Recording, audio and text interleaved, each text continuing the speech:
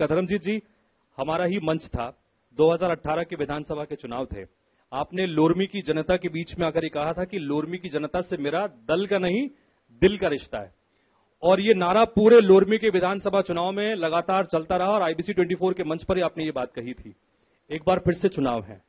दल और दिल, इस बार भी बात हो रही है। क्या कहेंगे? देखिए, लोरमी से तो मेरा दिल का ही रिश्ता है। क्योंकि धर्मजीत को धर्मजीत बनाने वाली जनता लोरमी की है। तो मैं तो अपनी ज़िंदगी में कभी उनके ऋण से ऋण हो नहीं सकता।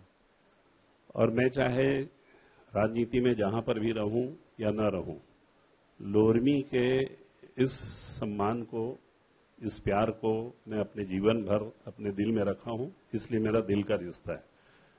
और ये मैंने, ये दल नहीं, दिल का रिश्ता है। कब बोला था, ये मैं बताता हूँ आपसे।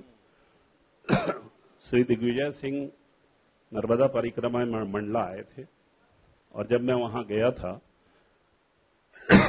उनके सम्मान के लिए तो प्रेस के लोगों ने मुझसे पूछा कि आप दिग्विजय सिंह का यहाँ पर स्वागत करने कैसे आए हैं? तो मैं बोला, दिग्विजय सिंह जी से पुराना संबंध है और ये दल का नहीं, दिल का रिश्ता है और उस दिल के रिश्ते में मैं उनका सम्मान करने गया था।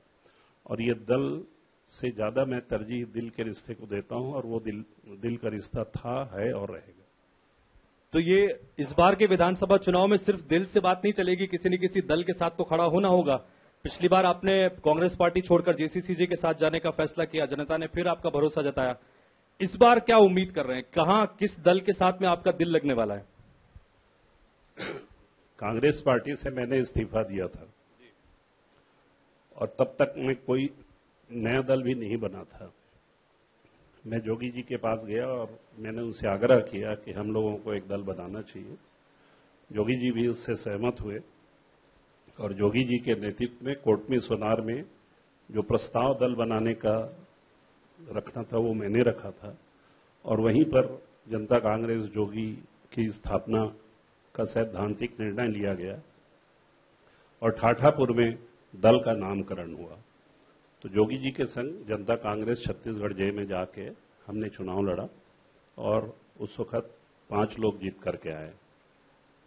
उसमें जोगी जी का स्वर्गवास हो गया देवव्रत सिंह का स्वर्गवास हो गया और मुझे पार्टी से निकाल दिया गया। तो मैं अभी कुछ दिनों पहले एक बयान भी दिया था कि मैं अभी चौराहे में खड़ा हूँ। और मैं तय करूँगा कि मुझे कहाँ जाना है। और मैं आपको आश्वस्त करना चाहता हूँ सभी को बोलना चाहता हूँ कि बहुत जल्द मैं अपना निर्णय लूँगा और मीडिया के समक्ष मैं मुझे जहाँ जाना है इतना बड़ा मंच है धर्मजीत जी आपके सामने पूरे प्रदेश की जनता आपको सुन रही है।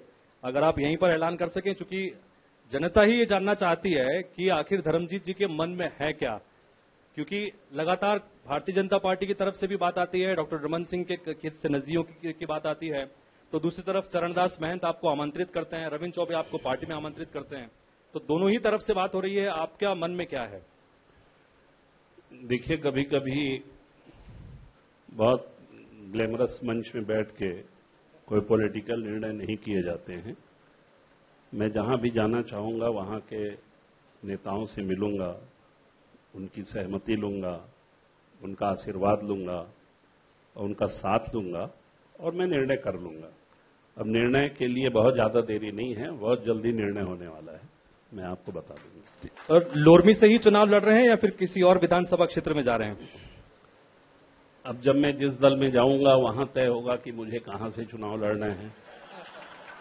मैं अगर अपने गाँव पंडरिया जाता हूँ तो वहाँ चर्चा हो जाती है कि मैं पंडरिया से लड़ूँगा। लोरमी का मैं विधायक हूँ वहाँ से चर्चा होती ही है। रस्ते में तखतपुर पड़ता है तो वहाँ के बारे में तो जरा ज़्यादा तेज चर्चा हो जाती है। तो चलिए, आपके संग में कम से कम एक ऐसा व्यक्ति तो बैठा है जो मैं यहाँ से वहाँ तक कहीं से भी हो तीन तीन क्षेत्र में मैं लड़ने की क्षमता तो रखता हूँ। कहाँ से लड़ूँगा वो बता दूँगा। तो तखतपुर वाला मेरा अगला सवाल था, आपने उसका हिंट पहले ही उसमें दे दिया।